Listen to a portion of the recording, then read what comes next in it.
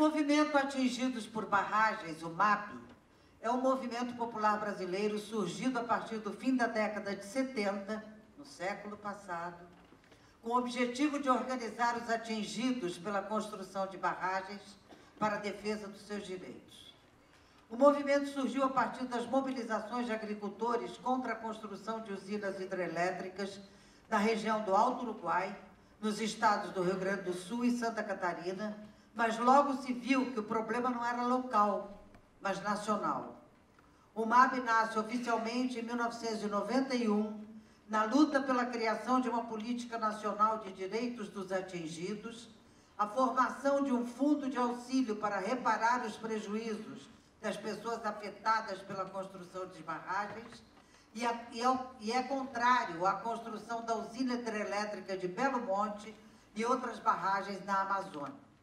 O MAB é um dos movimentos mais atuantes em prol das famílias atingidas pelo rompimento da barragem na região de Mariana, Minas Gerais.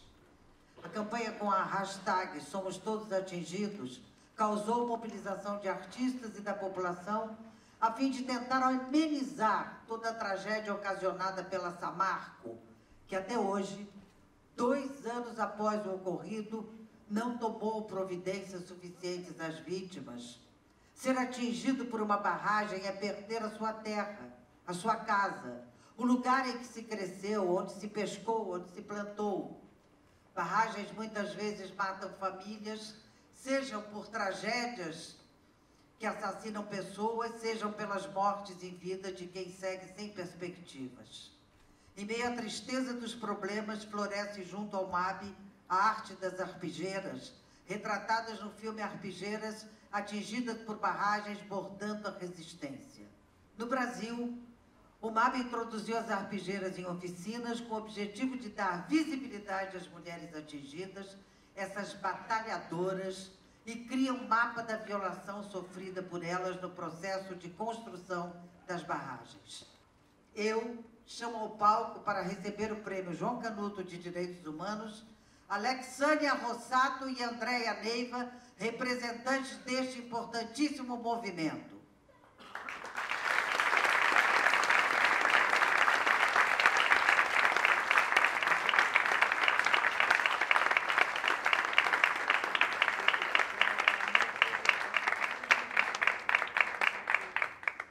Em nome do Movimento dos Atingidos por Barragens, o nós agradecemos imensamente o carinho dos companheiros e companheiras do MUD, nosso movimento irmão, também que nessa luta que travamos é, em defesa dos direitos humanos, dos atingidos por barragens, da população atingida por barragem no Brasil.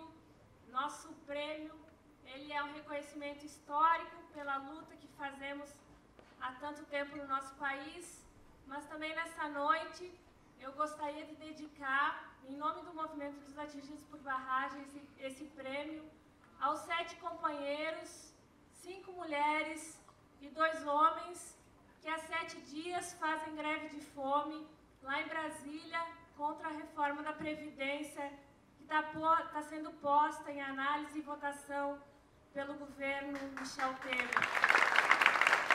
Eu sou atingida pelo crime da Samarco Vale, BHP e Renova.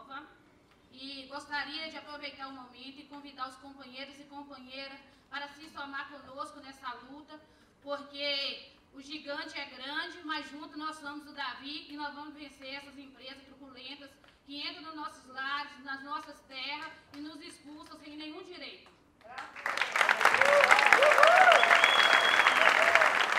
A possibilidade de sair de nossa terra, sair do lugar onde nós fomos criados e criamos nossos filhos.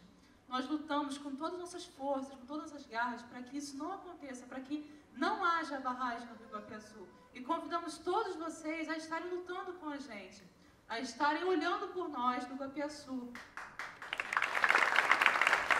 O município de Correntina, região que fica no extremo oeste da Bahia, que faz divisa com o estado de Goiás, e nós estamos na região que é considerada hoje pelo governo brasileiro como a, única, a última fronteira agrícola para a expansão do agronegócio. E nós fazemos um enfrentamento direto a essas empresas do agronegócio que roubam as nossas terras, que roubam as nossas águas, roubam as terras através da grilagem, roubam as águas através dos licenciamentos de outorgas. E nós, camponeses ribeirinhos, não temos outra saída senão nos levantarmos, senão, não, senão resistirmos.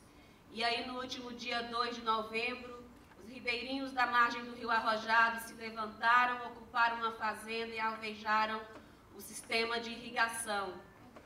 E demonstra esse enfrentamento concreto que existe e a divisão que existe na sociedade, a luta de classes, os trabalhadores combatendo as empresas do agronegócio, que representa a presença do capital na nossa região. E a gente acredita que defender a água, defender a vida, é uma obrigação de todos nós, porque é defender a soberania do país. A luta pela água deve ser a luta de todos os brasileiros e brasileiras na luta pela soberania.